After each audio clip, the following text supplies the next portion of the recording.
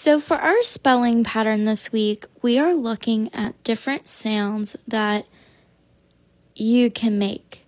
Now, because we are focusing on sounds, we are going to look at the spelling patterns tomorrow and sort those out. But there are three specific sounds that we are looking at. We are looking at a long U, and we've already talked about what that looks like. So, long U, as in cute, unit, argue, review.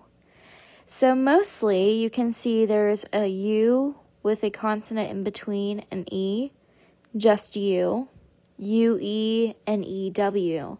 So, these can make the long U sound. And U just says its name cute, cute.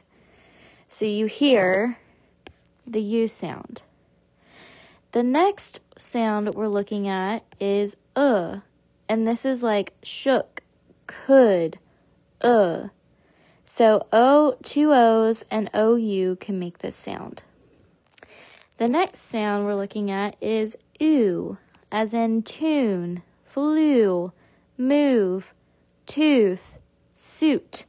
So there are different ways to spell these words.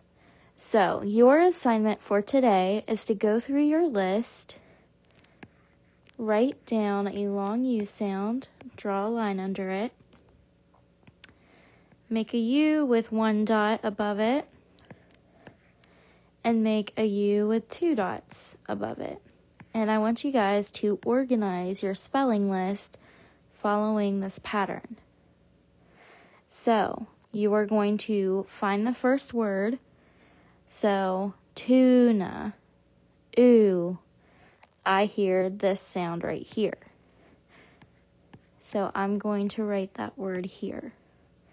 So, go through your list, write them down as you think under which sound you think it makes.